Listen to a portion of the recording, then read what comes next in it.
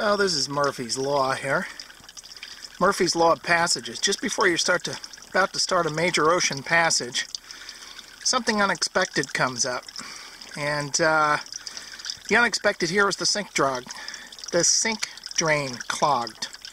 Uh, you can see right in there is a big there's a big plug of crap. Uh, but I gotta drain the water out of the line first. And uh, that, then I can get all the crud out of the out of the hose, and then uh, we should be good to go. But of course, of all the days this had to happen, it had to happen just before I'm about to set off on a thousand mile passage. Mmm, yummy.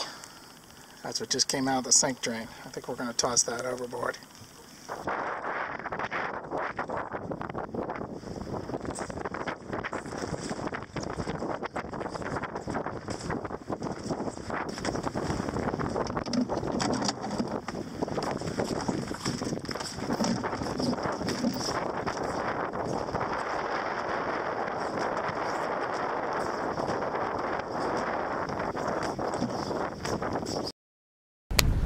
Ahoy, everybody!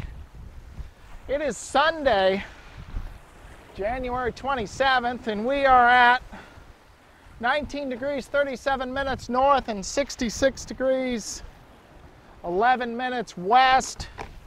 We have east to southeast winds, about 20 knots. We got showers and squalls around.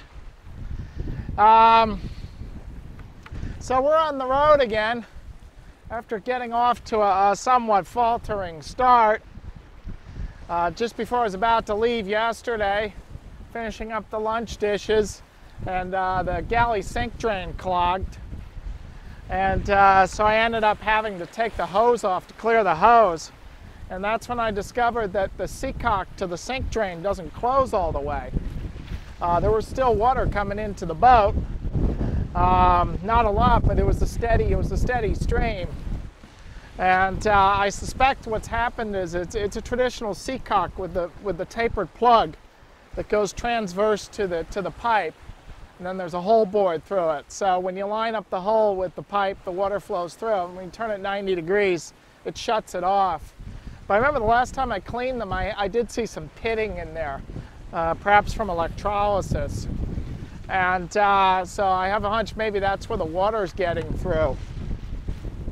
Um, so anyway, so that, that's not, I don't particularly like that, but uh, there's nothing I can do about that until the next time I haul the boat out. Uh, so anyway, I got the hose back on, but it was still leaking a little bit, just around uh, where the hose clamped.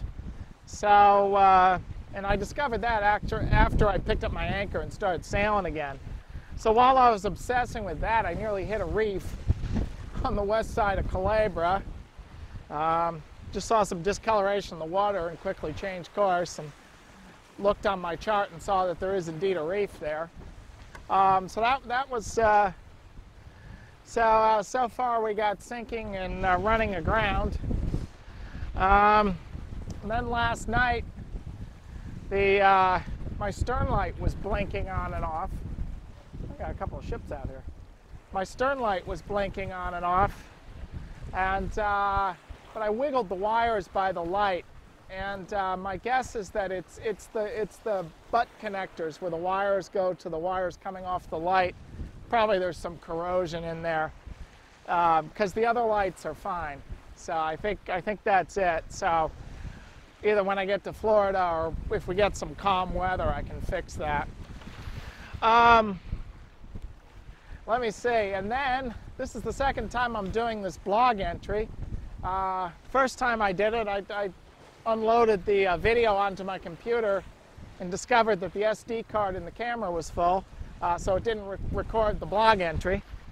Um, so, you know, we're, we're, we're, uh, we're, we're, fighting it out here. And, um, uh, but uh, we're, we're, we're pushing on. And you know, frankly, on top of that, I didn't really feel, I didn't really feel ready to get back out to sea again. So, uh, so there was uh, there was some lack of uh, lack of motivation coupled with everything else, and um, so um, So what do you do? We're out here now. We're make we're putting the miles down quick, and uh, we keep pushing on.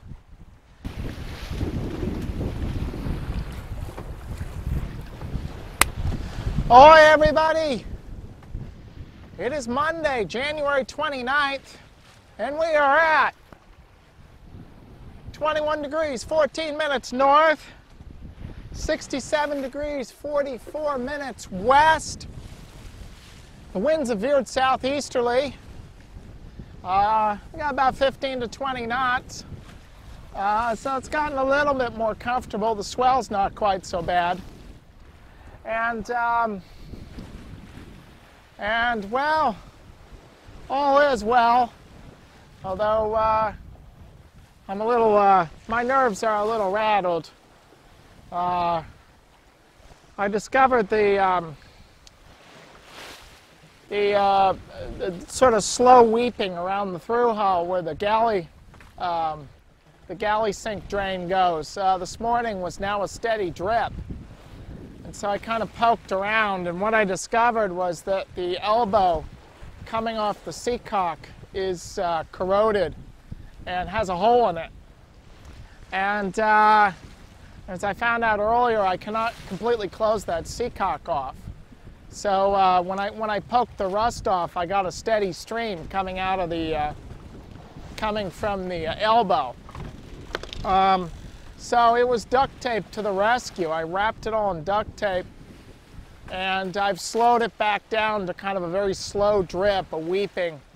So we seem to be okay. Um, however, to ease my mind, uh, earlier today I constructed a, a tapered plug out of one of the old oars for the nutshell. I used the oar around the grip. And uh, so, and this is nice. I think this is cedar, so it's a nice soft fir. Uh, generally, you want pine or something soft for a plug. So something you can drive in um, to the through hull. And uh, especially with a, a soft wood like pine, is when it gets wet, it'll swell up. And it'll make a nice watertight seal. So, you know, when all else fails. And I did have a plug on board, but I think this one might be a little too small. Um, so, uh, and by the way, uh, for ocean cruising, uh, among your spare parts, uh, carry a set of tapered plugs um, because it, it could be your last line of defense. If you get into a situation like I'm in right now where uh, one of the uh, one of the throws, the hoses coming off the throws is, is cracked and you're taking on water and then you discover you can't close the seacock, you can't close the valve off. And so you have no way of stopping water from coming into the boat. Um, and uh, yeah, if, if worse comes to worse, then you, you can just drive a plug into it. And uh, at least you're not going to sink. Um, so, other than that, we got a little less than about 250 miles until we enter the Caicos Passage. Uh, so far, the weather forecast is pretty good. It's pretty benign. Uh, we're supposed to have south, south to southeast winds for the next couple of days, gradually getting lighter. Uh, and then it looks like we should pick up some northeasterlies, uh, which would be quite good if we pick up the northeasterlies in the Caicos Passage, because then we're heading southwest. And, um, and um, northeasterlies and going east-northeast sounds like down south. So if that comes true, that'd be great. That would get us right through the old Bahama Channel. Um, the only thing I'm still on pins and needles about is, uh, is what the weather's going to be like when we exit the old Bahama Channel. And of course, we got to cross the Gulf Stream. Um, so uh, so let, us hope it just remains benign weather. And so we can get across the Gulf Stream to Key West. Um, I also did look, there are a couple, there's, well, there's two boat yards in and around Key West. Um, so right now it's looking like I am going to have to do a short haul and uh, replace the through and the seacock. Um, uh, it looks like that's that's not going to be able to wait until my until next summer.